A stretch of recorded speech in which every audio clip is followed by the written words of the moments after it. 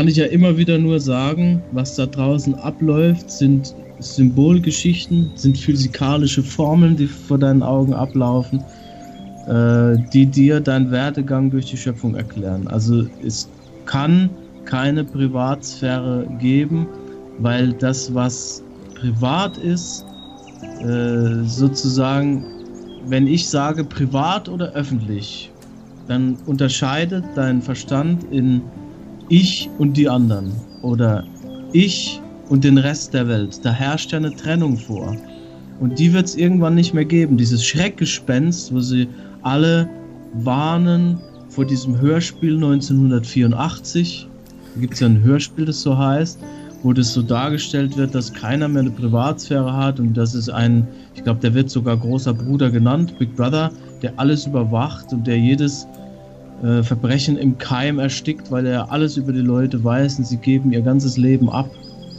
Und ähm, das sind eigentlich immer die Schreckgespenste, vor, die, vor denen du Angst hast oder wo du sagst, das darf nicht sein. Auch zum Beispiel der Staat. Im Moment kämpft das Volk gegen den Staat. Aber nicht nur bei uns, sondern auf der ganzen Welt. Alle sehnen sich nach einem Systemsturz oder nach einer Abschaffung von Systemen, weil das ja nur dazu dient, die Menschen zu verwalten. Und diese ganzen Feindbilder, diese ganzen Schreckgespenste sind eigentlich das, was heilbringend ist. Also das ist das, was ich meine. Wir bewerten den Film noch, bevor wir das Ende kennen. In jedem Film, das habe ich schon so oft angesprochen, kämpft immer der Protagonist gegen den ultimativen Bösen, der aber letztendlich das Heil bringt. Ohne diesen ultimativen Bösen kann das nicht überwunden werden, gegen was du da kämpfst. Und so ist es zum Beispiel mit der Privatsphäre. Dieser Kampf zwischen den Datenschützern und den Verbrechensverfolgern.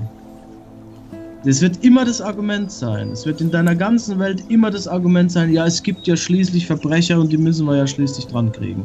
Es wird immer das Argument sein, warum man an deine Daten ran will. Warum man dich öffentlich machen will, sozusagen. Und das hat Udo schon oft angesprochen, in einer wirklich friedlichen Welt darf es überhaupt kein einziges Geheimnis mehr geben. Wenn das alles ausgeputzt ist und du dich und du es keinen Unterschied mehr zwischen privat und öffentlich gibt, kein Unterschied mehr zwischen ich und du, wenn das alles miteinander verschmolzen ist und es kein Geheimnis mehr gibt, was du irgendwie vor irgendwem bewahren willst, obwohl du der einzige Zeuge dieses Films bist, ist ja schizophren. Ein Mensch sieht einen Film und er versucht irgendwas geheim zu halten, obwohl hier nur einer zuguckt, der du selbst bist. Ja, siehst du. Ja, siehst du ja, das ist ja genau das gegenseitig ist, irgendwann auf. Das ist ja genau das, was ich meine. Deswegen ist es, äh, das, du hattest nie eine Privatsphäre gehabt. Jeder Gedanke steht äh, in so einer perfekten göttlichen Harmonie.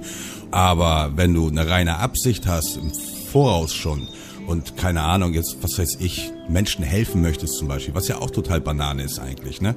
Aber wenn du eine, eine positive Absicht hast, dann brauchst du dir ja gar keine Gedanken zu machen. Dann passiert ja nichts. Wie jetzt zum Beispiel mit meinem Impressum auf meiner Seite. Bei dir habe ich ja gesehen, du hattest ja Du hattest ja, glaube ich, auch irgendeinen so speziellen, du hast gar keine Daten auf deiner Seite, ne? Irgendwie Namen, ja. Adresse und so, ne? Hast du gar nicht, ne? Und ich ja auch, ich habe ja so viele Brüche auf meiner Seite eigentlich. Und das geht mir völlig am Arsch vorbei. Das juckt mich nicht. Solange ich weiß, dass ich eine positive Absicht habe, ja, so und ähm, ziemlich im Rein bin mit mir selber, dann weiß ich auch hundertprozentig, dann wird mir da nichts widerfahren. Aber sobald Selbst ich jetzt an die positive Absicht wird dazu führen, dass du, dass dir was widerfährt, was dich davon abbringt, weil das Ziel der Evolution ist es, dich absichtslos zu machen, weil erst dann bist du in Übereinstimmung mit dem Wille des Schöpfers, weil der Wille des Schöpfers besteht darin, dass er überhaupt nichts will, weil er besteht aus reinem Geben. Das heißt, da ist nicht die winzigste Spur des Empfangenwollens drin zu finden und deswegen hat er keinen Willen. Er will nichts. Und etwas positiv zu beeinflussen ist dasselbe wie etwas negativ zu beeinflussen, nur umgekehrt. Die, wo dich diese beiden Pole hintreiben wollen, ist die Mitte, die Enthaltsamkeit. Die Absichtslosigkeit. Wie die Buddhisten sagen, im Nichtstun bleibt nichts ungetan. Weil die Welt geht ja trotzdem weiter. Aber schon diese Sache, dass du sagst, Hauptsache es ist eine reine Absicht dahinter, du kannst ja das gar nicht raussuchen, welche Absichten du verfolgst. Nee, natürlich kann ich mir das raussuchen, in dem Sinne zumindest, wenn du schon gewissen Bewusstseinslevel erreicht hast. Was ich jetzt zum Beispiel meine ist, äh, sobald du anfängst, ein Kaufmannsdenken anzuwenden, ja, dann wirst du auf jeden Fall negativen, negative Konsequenzen ranziehen. Aber wenn du eine reine Absicht hast, kein Kaufmannsdenken anwendest. So wie, was weiß ich jetzt, oh ey, Ohrenbauung, das ist ja mega, ey, damit muss ich Kohle machen, die Dinger muss ich irgendwie ver verkaufen übers Internet oder was weiß ich, ja, dann wirst du dementsprechend auf jeden Fall deine Konsequenzen daraus ziehen. Aber wenn du Aber das... das kannst du dir nicht raussuchen. Doch, du, ich denke mal... Kannst dir, du bist ja nicht der, der du zu sein glaubst. Deswegen, du bist ja eine Ebene drüber, du bist der, der das Ganze beobachtet und der kann sich nichts raussuchen, der kann nur beobachten, was geschieht. Der, der du glaubst, der sich was raussuchen könnte, dem liegt eine Prägung zugrunde. Keiner sucht sich raus, ein Mörder zu werden. Da entstehen einfach bestimmte Gelüste, die ihn dazu treiben, zu töten. Das hat er sich nicht rausgesucht. Du könntest jetzt sagen, ja, sein Umfeld ist schuld, aber auch das ist nicht schuld, sondern das ist einfach dynamisches Leben. In der Thermodynamik sagt man, die Intelligenz ist nicht auf ein einzelnes Teil beschränkt, sondern verteilt sich gleichmäßig über alle Teile. Das heißt, diese Figur, die du zu sein glaubst, kann nicht mehr und nicht weniger entscheiden als der Baum, der vor ihr steht, zum Beispiel. Die bedingen sich gegenseitig. Der, du kannst jetzt, wenn du auf so einen Felsen kletterst, ich komme ja aus Rheinland-Pfalz, da gibt es ganz viele Felsen in den Wäldern oben, so Sandsteinfelsen, da kann man leicht was reinritzen. Und wenn du auf bestimmte, auf besonders schöne Felsen kommst, die weit rausragen, wo du weit gucken kannst, die sind dann sehr beliebt. Und dann gibt es da halt viele Leute, die ihre Initialen reinritzen. Und schon ganz früh, da muss ich vielleicht 21, 22 gewesen sein, habe ich mir die Frage gestellt, Wer wollte das eigentlich? Der, der sich da reinritzt. Wollte der das, der das geritzt hat, oder war es der Felsen, der das wollte?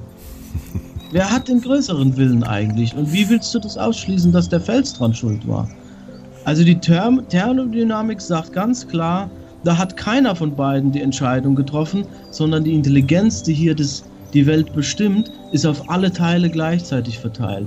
Du kannst das Gefühl haben, du hättest eine Entscheidung getroffen, aber das entspricht nicht den Tatsachen. Wenn du es exakt beobachtest, wirst du feststellen, dass der, der du zu sein glaubst, keinerlei Entscheidungen treffen kann.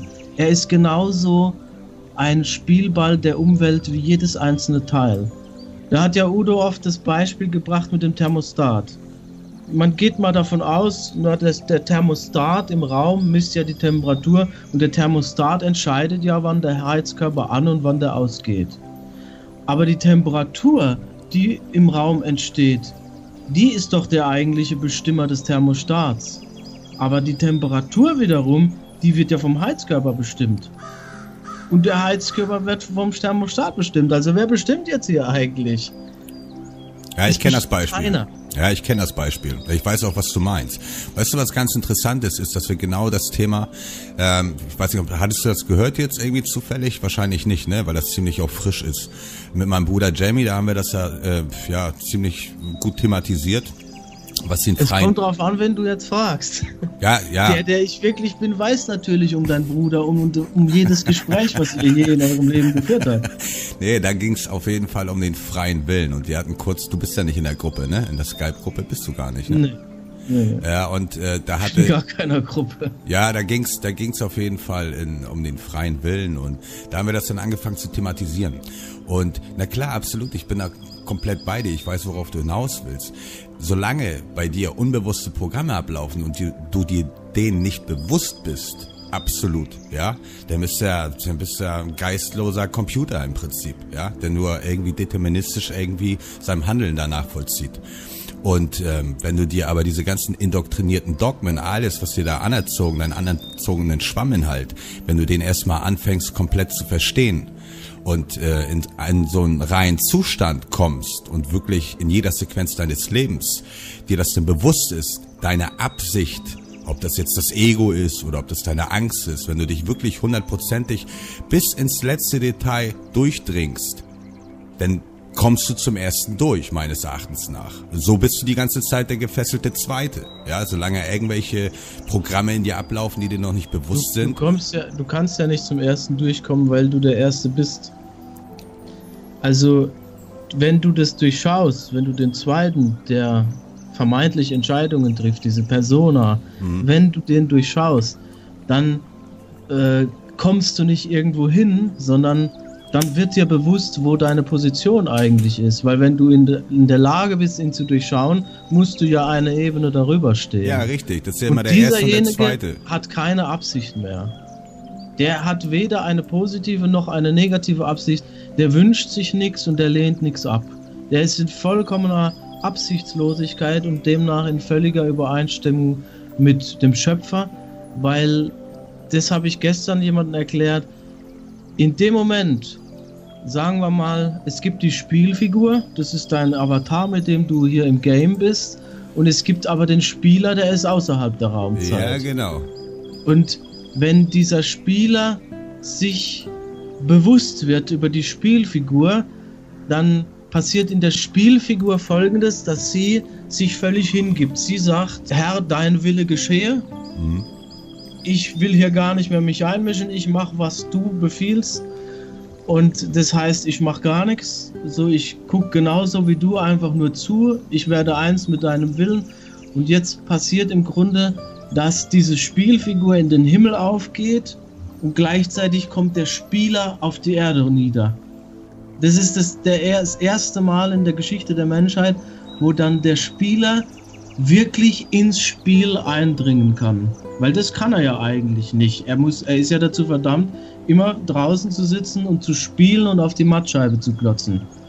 Jetzt kommt ja die, die Revolution in den Spielewelten, das hat mit der Entwicklung deines Geistes zu tun dass du jetzt nicht mehr vor dem Bildschirm sitzen musst, sondern mit der 3D-Brille jetzt im Spiel sein kannst. Das ist die Symbolik, die ich meine. Mhm. Da kommt jetzt der Spieler mehr und mehr in die Spielwelt rein, weil die Spielfigur frei macht, also den Weg frei macht und es ermöglicht, äh, die Spielfigur wäre dann erleuchtet sozusagen. Das stimmt natürlich nicht, weil die nicht erleuchten kann, aber symbolisch gesehen geht sie in den Himmel auf, weil sie wird eins mit dem Schöpferwille das heißt, sie, sie verzichtet auf eigenen Willen und gleichzeitig kommt dann dieser Gott auf die Erde nieder. Deswegen gibt es zwei Schöpfungsgeschichten. Das hat Udo auch kurz angestimmt. Das ist, deswegen gibt es immer zwei. Es gibt den Fall aus dem Paradies und es gibt, äh, also es gibt ja diese Makrokosmos-Erklärung und die Mikrokosmos-Erklärung und da gibt es den die Genesis, also die Schöpfung, die Entstehung und den Exodus, den Auszug. Rein und raus. Okay. Wie das Ficken. Deswegen gibt es Ficken überhaupt in deiner Welt. Rein, raus, rein, raus. Nur rein geht nicht. es muss rein, raus, hin und her. Und solange du noch in der Zeit lebst, fickt man auf diese Weise sozusagen. Aber kosmischer Sex ist dann, dass, dass es gleichzeitig passiert. Dass rein und raus gleichzeitig passiert. Das ist in dem Moment, wo die Spielfigur zum Spieler wird, wird der Spieler zur Spielfigur.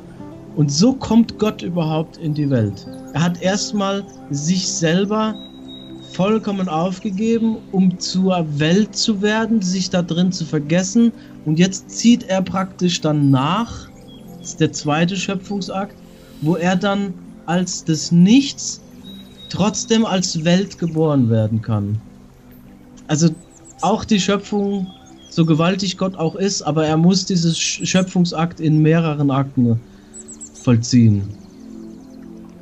Ja, das ist schon ziemlich äh, weit ausgeholt. Ne?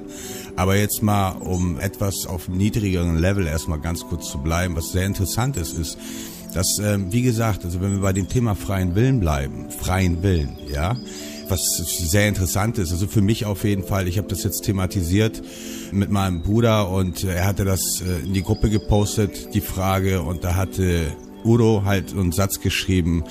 Ja, ich habe ich hab mir das sogar hier noch abgespeichert. Da ging es dann so weit, dass er geschrieben hatte, du Geistesfunken bist in der Schöpfungshierarchie Eops. Wenn du zu einem bewussten roten Ich geworden bist, der Erste, in Klammern, darum sag ich ab, also ich, ich bin auch Du, bewusstes Ich. der einen freien Willen besitzt, was nicht bedeutet, dass du diesen auch benutzt. Diesen Gott gegebenen freien Willen benutzt du erst dann, wenn du dich nicht mehr vom geistlosen Diktat des Zweiten, daher vom geistlosen Diktat deines intellektuellen Schwammenhals verwirren lässt. Und jetzt ja. lass mich, lass mich noch eine kurze Sache dazu sagen. Ich meine, klar, natürlich ist es genau so dieser, dieser, ähm, ja, wie soll man sagen, das ist, ähm, ein ganz schmaler Grat, in dem man sich bewegt. Ich sag mal, ja. jetzt wir hier als Brösel, ich meine, ob ich jetzt einen Pfefferminztee trinke oder einen schwarzen Tee, das ist Banane. Das juckt niemanden. Das macht, hat keine Auswirkung. Aber wenn ich jetzt äh, unbedingt ein Auto haben will oder einen neuen Job oder eine neue Frau oder ich wünsche mir schon Kinder seit 20 Jahren und versuche das auf Krampf zu machen und es passiert nicht, dann wird das schon, ne, wenn du ins Vertrauen gehst und dann schon mittlerweile hier so die Komplexität ein bisschen verstehst und loslässt und äh, Vater, dein Wille geschehe, ja, in dem Kontext das dann legst, dann ist es klar, denn, denn die Macht hast du nicht. Du kannst das nicht erzwingen. Du kannst keine Kinder erzwingen oder sowas halt. Ne? Und ein neuer Job oder eine Frau, eine Freundin, ein Auto, das kann, hat alles schon Konsequenzen im höheren Bereich. Ne? In dem Sinne. Nur um da, darauf jetzt äh, zurückzukommen, er sagt ja, dass man freien Willen besitzt aber das nicht bedeutet, dass man den auch benutzt. Und darum bin ich auch immer mehr davon ausgegangen. Das heißt, wenn du deine kompletten Programme erstmal durchschaust, ja, wie extrem du indoktriniert worden bist, dass du, wenn du das erstmal durchschaust, dann auf jeden Fall in so einen, so einen Nullpunkt kommst, wo du dann halt wirklich ja, reine Absichten hast. Also wirklich komplett aus dem Herzen heraus, ja. Der Und Nullpunkt ist ohne Absicht. Null plus siehst minus. Du, genau das ist, genau das ist der interessante Punkt. Ja, ich meine, ich finde es geil, dass du das ansprichst, weil das auch mir schon wieder extrem wieder zu denken gibt. Definitiv klar. Vater, dein Wille geschehe, ne? Absolut, da bin ich vollkommen bei dir. Allerdings, ja, ja, das ist genau ich spreche das die Frage. aus beiden Richtungen zu dir. Ich spreche als Jan und als Udo. Das sind beides dieselben Erklärungen. Dahinter steckt derselbe, der dir das erklärt.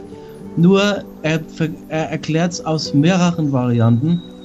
Ich stecke auch in, in allen anderen äh, Erklärungen, die dir so den Tag über den Weg laufen. Aber ich erkläre jetzt, ich verknüpfe diese beiden Erklärungen jetzt nochmal miteinander. Lies nochmal den Udo-Text vor. Und dann erkläre ich dir, und dann rede ich weiter, wie es gemeint ist. Ja, pass auf. Ja, pass auf. Das Ding ist, da sind auch zwischendurch immer noch so diese Gematrie, Holofeeling, hebräischen Zeichen zwischen und so, ne? Deswegen ist es ein bisschen schwer. Sind nur zwei Absätze. Sind nur zwei Absätze, aber genau, so wie es, wie es, ich lese dir das mal vor, so wie ich es äh, eben halt äh, vorgelesen habe. Du Geistesfunken, bist in der Schöpfungshierarchie, großgeschrieben JCH, ups, wenn du zu einem bewussten roten Ich geworden bist, der Erste, in Klammern, darum sag ich up, ich bin auch du bewusstes Ich, Klammer zu, der einen freien Willen besitzt, was nicht bedeutet, dass du diesen auch benutzt. Diesen Gott gegebenen freien Willen benutzt du erst dann, wenn du nicht mehr vom geistlosen Diktat des Zweiten, daher vom geistlosen Diktat deines intellektuellen Schwammenhals verwirren lässt. Also, der Erste ist dieser Intellektuelle, der dich verwirrt.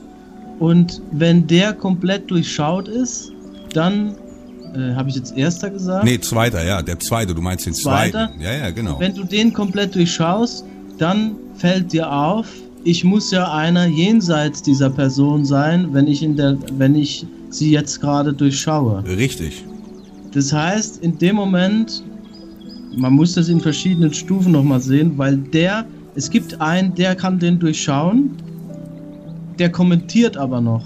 Und darüber kommen wir dann in den Bereich von, von diesem beschriebenen JCH oder JCHOP. Mhm. Äh, der kommentiert nämlich nicht mehr, weil wenn da einer ist, der kommentiert, dann ist es ja immer noch eine wahrnehmbare Sache. Da ist einer, der kommentiert das, was er da durchschaut. Also Richtig. muss es ja noch einen drüber gehen, der dieses Kommentieren wahrnimmt. Ja, den, den du nicht Dieserjenige ist reiner Beobachter. Der hat keinerlei Absichten. Absichten hat nur der rote oder der blaue darunter. Und wenn diese Absichtslosigkeit da ist, im Grunde ist das der vollkommen freie Wille. Und das heißt, keinen Wille mehr zu haben. Das ist dasselbe, wie wenn ich sage, du bist eigentlich nichts und dieses Nichts ist alles. Das habe ich schon öfter erklärt, will ich jetzt nicht nochmal die Runde gehen. Aber das ist wie, wie ich gesagt habe, alle, da kommt jetzt bald ein Audio, wo das erklärt wird, alle Buchstaben gleichzeitig, wenn die alle da wären, dann sind die so vollständig, dann bilden die den kompletten Kreis ab, sodass die sich gegenseitig alle auslöschen. Und ja, wenn ich aus diesem ganzen hast. Buchstabenkreis eins raushebe, dann habe ich das quasi im Kontrast zu allen anderen und dann wird erst was wahrgenommen. Ja. Deswegen, das ist eine gute Metapher, um zu erklären, dass alles im Grunde nichts ist. Und nichts ist alles. Und so ist es mit dem freien Wille. Dieses absolute freie Wille haben hat nichts zu tun mit irgendeiner Person, die was will, sondern das heißt einfach, dass du absichtslos geworden bist und vollkommen ohne Wille. Und das heißt, du hast den vollkommen freien Willen erlangt. Ja. Weil dann Sehr bist du immer gesagt, in absoluter ja, Übereinstimmung mhm. mit dem, was jetzt gerade ist. Ja, genau. Dann kann es nichts mehr geben, was dich in irgendeiner Weise stören oder jucken kann. Und sei es, wenn deine Person zu Tode gequält wird oder erbärmlich an Krebs verreckt oder so, das wäre immer noch absolut identisch mit dem, was du gerade möchtest. Ja, richtig. So kann es keinerlei und es wird weder Angst noch Geschrei noch Tod wird mehr sein, denn das Erste ist vergangen, wie es in der Johannes-Offenbarung heißt. Ja, sauber. Ja. Das ist halt ja, immer das Problem, wenn wir uns so Sachen wie freier Wille vorstellen und so auf der unteren Ebene gesehen, es sind immer die philosophischen Diskussionen, gibt es einen freien Willen oder gibt es ihn mhm. nicht, die dann weit gehen und weit sich damit beschäftigen, die kommen zum Entschluss, nee, es gibt keinen freien Willen und dann irgendwann kommt die Erkenntnis, doch, es gibt einen absoluten freien Willen weit da oben drüber, nämlich den, sich vollkommen zu enthalten irgendeinem Wollen und irgendeinem Ablehnen und dann bist du in Übereinstimmung mit dem Schöpfungsplan und das heißt absolut frei zu sein. Ja. Ewiges ja. Leben. Ja, sehr schön gesagt. Sehr schön gesagt. Inshallah. Ja.